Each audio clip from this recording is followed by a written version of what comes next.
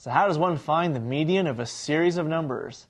Hi, I'm Jimmy Chang. I've been teaching college math for nine years now, and I'm here to show you exactly that.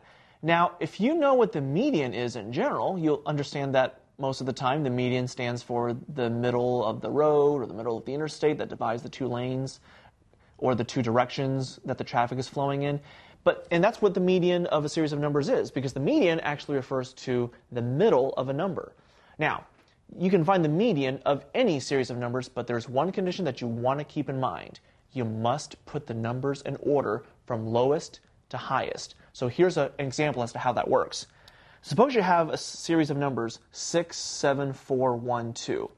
Now, you can't just say the middle number is 4 because you need to be sure that all the numbers are in order first from lowest to highest. So, that's what you need to do first. Put them from lowest to highest. So, the lowest number here is 1 followed by 2, followed by 4, followed by 6, and followed by 7.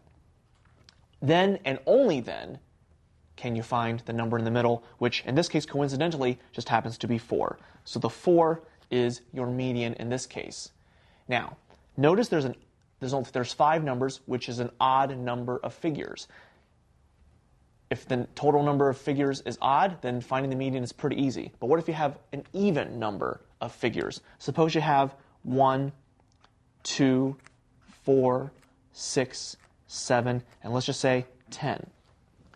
You now have six numbers. Now, the numbers are in order, so you can find the median from there. Whenever you have an even number of figures, then you take the middle two, you take the 4, you take the 6, and then you find the average. In other words, you add the 2 and then divide by 2.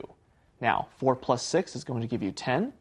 Divide by 2, that's going to give you 5.